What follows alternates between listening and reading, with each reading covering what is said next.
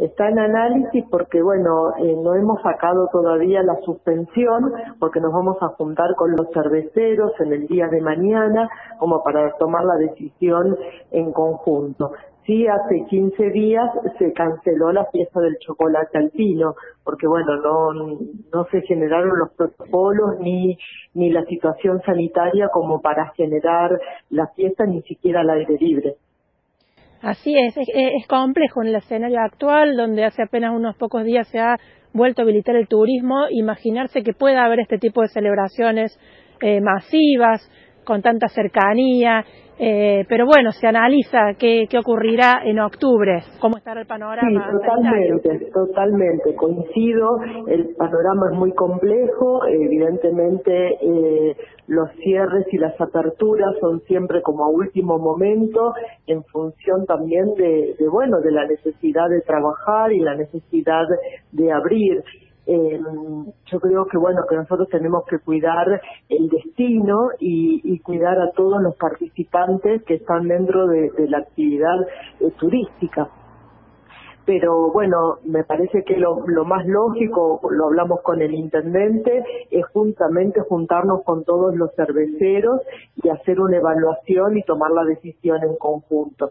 Con la fiesta del chocolate fue distinto porque, bueno, había que, ya se acercaba la fecha, estábamos con restricciones y cierre total, por lo tanto eh, se, sacó por resolución la suspensión. Y a diferencia del resto de las fiestas, la de la cerveza es realmente muy importante en cuanto a su impacto económico. Eh, ¿Se puede analizar otro tipo de formato, otra modalidad?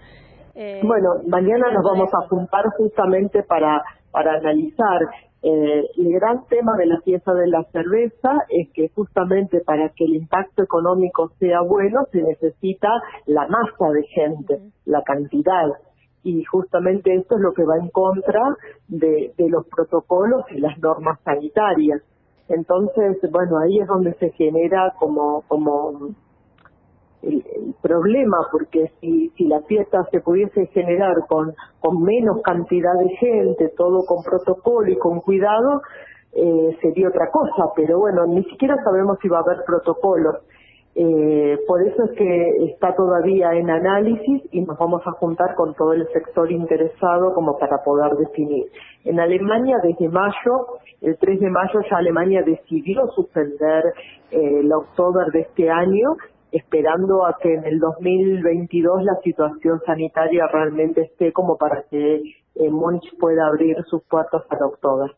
¿Va a haber otro tema de agenda en la reunión programada para mañana con el sector de, los cerveceros? Sí, sí. Mañana tenemos reunión con todo el sector como para justamente poder charlar entre todos eh, y definir entre todos eh, esta octubre 2021. ¿Será el único tema a tratar? Sí, es el tema que tenemos en agenda. Si surgen después otras cosas, bueno, hablaremos lo que surja, pero ese es el tema de agenda. Secretaria, ¿alguna otra novedad?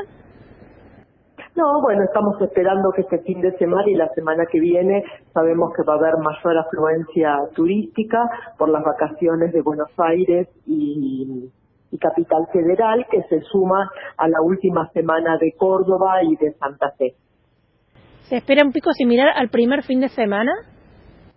Eh, bueno, no podemos decir exactamente lo mismo porque el fin de semana largo eh, no responde solamente a vacaciones de invierno, sino que eh, funciona como fin de semana largo. Pero sabemos que va a ser mejor la afluencia que durante esta semana.